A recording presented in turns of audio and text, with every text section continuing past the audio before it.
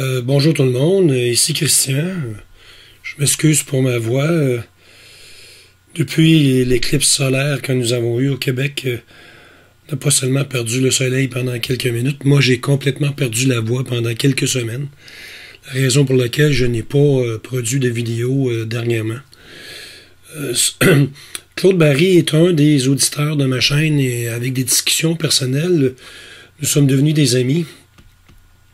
Et ici, on peut voir Claude euh, accompagné de sa fille dans son observatoire personnel euh, au Québec. Je vais vous avouer que c'est un observatoire d'une très grande qualité avec des outils très performants. On peut voir ici son C14 qui pointait euh, avec un filtre en lumière blanche le soleil lors de l'éclipse du 8 avril dernier. Tout à côté, il y a un lens et moi j'étais à l'opposé de l'observatoire sous son plein wave CDK 14, une merveille euh, comme instrument. On peut voir ici son observatoire avec la toiture euh, fermée. Et ici un télescope d'une qualité euh, impeccable qui vaut dans les 45 000 dollars canadiens. Claude utilise souvent son plein wave pour capturer en monochrome et on peut voir ici un téléview euh, avec une caméra couleur pour capturer les mêmes euh, objets et pouvoir fusionner le tout. Claude a eu la gentillesse de m'inviter et j'ai vécu l'expérience avec lui chez lui et il m'a aussi donné la permission d'utiliser un de ses masters. On peut voir ici M51 qui va faire partie du projet collaboratif entre astronomes au Québec. On va aller chercher euh, quelques centaines d'heures sur l'objet pour aller chercher des nuances euh, dans toutes les sphères de photons possibles, autant en H-alpha, en, RVB euh, et ainsi de suite. Et moi, je voulais vous présenter Gradient Correction de PixInsight d'une meilleure façon et j'ai déjà, comme je vous disais, je voulais traduire la documentation et c'est fait depuis quelques semaines déjà. Et vous allez avoir la possibilité d'utiliser un lien dans la description pour vous procurer la traduction que j'ai faite de la documentation. Et on peut regarder ensemble comment fonctionne cet excellent outil que je trouve bien meilleur que DBE, que je trouve meilleur que Gragspert, malgré que ces outils sont encore disponibles pour vous.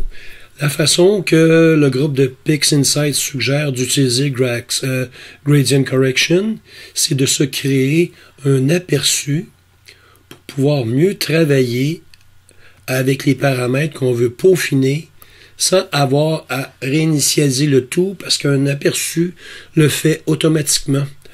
Par la suite, comme prime comme base, on doit étirer notre aperçu en mode étendu. Donc, on appuie sur la touche majuscule et on appuie sur euh, le bouton de radioactif pour avoir une meilleure visibilité des petites nuances du dégradé.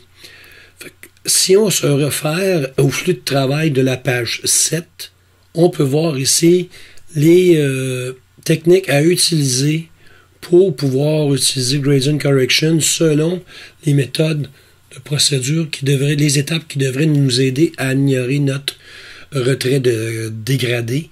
Donc, la première chose à faire, c'est de prendre les valeurs par défaut que j'ai ici. Je vais en plus générer le masque pour vous montrer comment fonctionne le tout. On essaye avec la protection de la structure et on l'applique à notre aperçu. Et ici, on voit le masque qui a protégé l'objet. On n'a plus besoin de, de cette configuration. Et on peut faire avant et après pour notre aperçu. Moi, je trouve qu'ici, qu'il y a une petite correction qui n'a pas été faite dans le bas à droite. Donc, je vais réinitialiser le tout et je vais enlever la structure de protection pour utiliser le modèle simplifié, pardon, avec le degré numéro 1 et je vais voir le masque qui va être généré dans ce cas.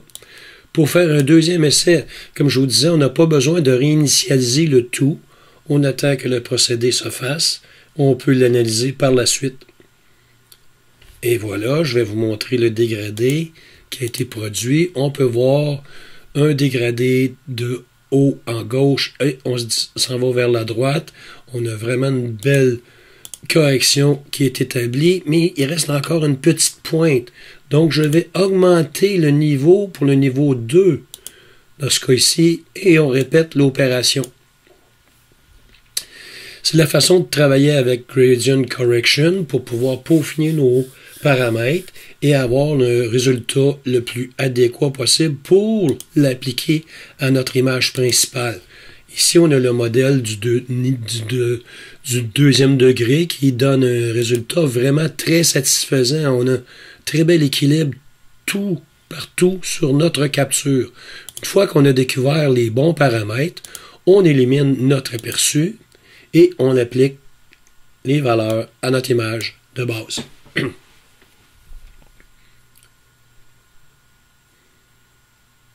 Oups. Je, oui, c'est vrai, j'ai, oublié d'enlever le masque. C'est pas grave. Ici, on devrait avoir le même masque. Exactement. On peut l'éliminer. Et on a notre correction qui nous donne des résultats vraiment emballants. Donc, on voit ici avant, avec des pointes, des coins un petit peu euh, plus foncés, et on a le résultat. Par la suite, on peut vraiment travailler notre photo pour avoir un document final d'une grande qualité.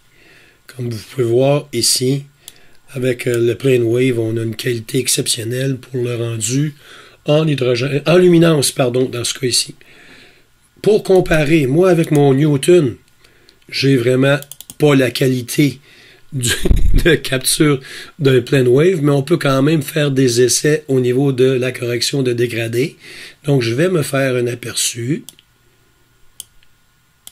que je vais réinitialiser ici. Je vais faire un, étirement étendu pour pouvoir mieux voir les corrections qui devraient être appliquées à mon ensemble. Donc ici, je réinitialise pour les valeurs par défaut et je l'applique à mon image. Donc, si je fais avant, après, je peux répéter l'opération pour voir le masque et l'appliquer à mon aperçu. Vous voyez ici qu'on a un petit coin qui a été protégé en haut à gauche, ce qui nous donne un résultat vraiment intéressant par les valeurs par défaut. Donc, je vais éliminer mon aperçu et l'appliquer à mon image en ne voulant pas voir la protection, du le masque de protection, c'est inutile. Fait qu'on a ici avant, après.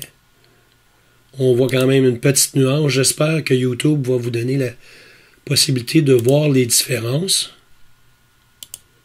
Et dans mon cas, c'est le master que j'ai pu créer avec euh, presque 8 heures d'hydrogène alpha qui donnait une image vraiment intéressante pour la qualité de télescope que j'ai. Donc, je vous recommande fortement de prendre le temps de lire la documentation et de prendre le temps d'investir. Si vous avez des nébuleuses très sombres, c'est l'outil idéal pour pouvoir enlever nos euh, dégradés de pollution lumineuse. En espérant que vous avez apprécié. À la prochaine.